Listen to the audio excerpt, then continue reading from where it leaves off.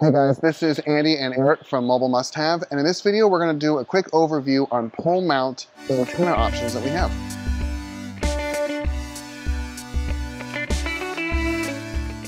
So before we get started, the vast majority of our customers do not need to look at pole mounting options. Um, it's it's complicated to get a pole up in the air, So much work. to get the cables routed, to Ugh. unplug other stuff.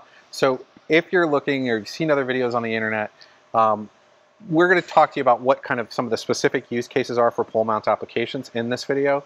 But we do recommend if you look at our bundles, like our Ultimate Road Warrior Plus bundle that includes an omnidirectional roof mounted antenna, Yeah. that is that's the way to go for 99% of RVers. Um, you know, if you're looking at a mobile router solution. But for today, we want to talk about some of our popular pole mounting products. And, and these are great for a rural home application or something that's not moving really at all. Um, this is where these really start to excel. Yeah. So let's kind of talk about why pole mounting is popular in the first place. So the Earth is round. Most people think that. It's just a joke. Long story short, every 10 feet of vertical elevation of a cellular antenna will typically give you about double the cell signal strength. And that's due to the curvature of the Earth. Cell signals travel horizontally along the Earth, and you will eventually hit ground if you just go flat and straight at a low altitude. So by raising the antenna up, you are basically enabling the cell tower and your device to communicate with less stuff in between it and less interference and less bounces off of the ground, cars, and all these other things. Less interference. Yeah, so going up typically does help. Now, we don't have to go 10 miles up, you know, we're typically looking at 20, 30 feet um, with most of our poles. I think we have a 25 foot pole um, that we part we pair up with with um, on our store, and there's some other pole mounting options that we're looking to release in Yep. the future. Um, so poles can really help with signal. And then once you get into the antennas, there's two sort of flavors or variants. There's a directional pole mount, and then there's an omnidirectional pole mount Yep. antenna. And that's the configuration of the antenna inside of the case.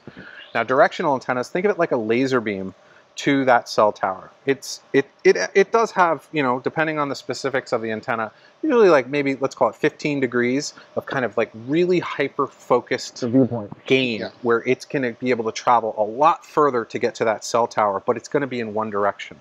Directional antennas are really popular for folks that are super, super fringe, um, or for folks that just have one cell tower or cell provider. Um, and they're like, I just want to look at that one tower in that one direction. And if I can dial in the best signal possible, that can, not always does, but can result in higher and faster download and upload speeds. You're still going to be at the mercy of that cell tower. Um, Yep. You know, you could have perfect signal to a tower, but if that tower is saturated and it doesn't have anything to give, Or it's running DSL and it's slow anyway. Yeah. yeah. You've got great connection Yeah. to the tower, but out to the internet from the tower, there's nothing. Yeah. But the vast majority of cases, uh, I know Chad from Changing Lanes did a great video on the XPOL here. He saw significant speed improvements by dialing in and pointing a directional antenna to a cell tower. in, in rare cases, it can be the difference between signal and no signal, but you have to really be out there on the fringe um, and be able then to really have the patience to find signal and really decide you're going to be there and needing to work if you're that far in the middle of nowhere. Yeah, so, directional is, let's just, we'll say it's the highest performance and it's the biggest pain in the butt. Yeah. Yeah. But if you're talking about mounting something, set it and forget it and not messing with it, like in a rural home application, or if you have a business, you know, you're doing oil refinery rigs. I know we sell a lot of these to to, to folks in Texas that are doing like mobile oil refinery stuff that moves around They're a lot. out there. They Yeah. they love these antennas.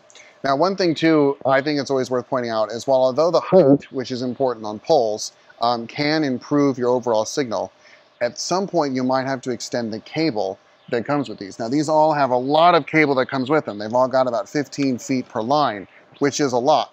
Um, but what happens if I go past the 15 feet and extend it? Is extending it worth the height gain? That's a big question we get. Yeah, it can be tricky because the uh, dialing into some real kind of geeky stuff. The cable itself actually can pick up some signal. I've been told from Parsec Yeah. and some of the other guys. So there is some some interesting stuff where the, the cable can help.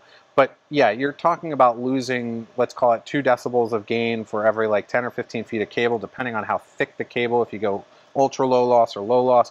So the vast majority of our customers, we say, hey, try to get in on the 15 feet if you can. Yep. If you need to extend because you're in a rural home situation and it's a permanent install, you can do the ultra low loss, which is really thick cable. Really thick cable. It's like the thickness, of, the diameter of like a dime, like nickel yep. dime. So it's it's a thick cable, and in many situations you need more than one cable if you're doing um, two by two MIMO or in like this, this case, one's got four cables. Right. So yeah. there's four cell antennas in this. We'll we'll uh, we have separate videos for each of these antennas that we'll go into. So we're just kind of doing an overview. But but yeah, so cable is something to, to consider, and omnidirectional versus directional. So in looking at like the XPOL that uh, is right here, that's a directional antenna, two by two MIMO that has 600 megahertz support, and that is a 5G ready antenna. Uh, that's the one that was featured in uh, Chad from Changing Lanes video, and we've sold quite a few of those to very happy customers who uh, use that with um, our Ultimate Road Warrior bundle. Because it's 2x2, um, it has two cellular antenna leads. If you were going to look to add that to like a Category 18 or Category 20 modem, you'd actually need two of those. Two of them. Yep. Um, you could technically do that on two of the antenna plugs and then do kind of your small antennas on the other two, um, but it's not going to be as fast as if you jump into something like this. Now this is a panorama antenna. It's pretty big. It's huge. I'm not sure this is an RV application, but let's let's think about what it is. It's basically two of those. Yeah. So in this situation, we've got four cellular antennas in this that are all directional. Um, this thing is, a, is an absolute beast and it screams from a performance perspective and you can use that with the 5G capable modems or the Category 18 modems to just get the highest possible speed with four integrated directional. But I mean, it's heavy, it's big, it takes up an entire storage unit. Yeah, it's yeah. not not very common for RV use. This is we see this a lot on uh, on on those uh, but, oil structures. But this one, we're very excited about. Yeah. So if you're looking at, hey, I just want to step it up and I want to go think about doing pole mount to add to your arsenal. Again, we recommend roof antenna is like 90% of yours, but then you get out there, you're boondocking and you want to be out there. This is a high performing antenna. We've actually got the Mobile Internet Resource Center, Chris and Cherie from uh, RV Mobile Internet testing that right now. Uh, they used it on our property in New Hampshire and we're highly impressed with what it was able to do. That is not a directional antenna. That is omnidirectional. Even though it's flat and it looks like you have to point it, you don't. Nope. So this is really, really great. Um, that's that's a four by four uh, MIMO antenna. So there's four cell antennas in that. leads here. Uh, yeah. They've added really beefy 240 size cables to this to even further improve the performance of this antenna. And because it's omnidirectional, if you plug that into our Duo type uh, modems, and there are cell towers in two different directions, like we've got one modem running on AT&T and one on Verizon, two different towers, you don't have to worry about pointing with that unit. So that is what I would say is really a solid blend between not being a pain in the butt. I mean, still got to put it on a pole. still got to mount the pole. I mean, yeah. one little cables in. And performance. Yeah. But yeah, that's just sort of a simple overview of why people are even thinking about doing pole mounts and uh, sort of the different flavors of pole mounts.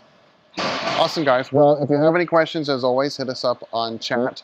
Uh, you can also send us an email at info at mobilemusthave.com, and we'll hope to see you on the road. Thanks, guys.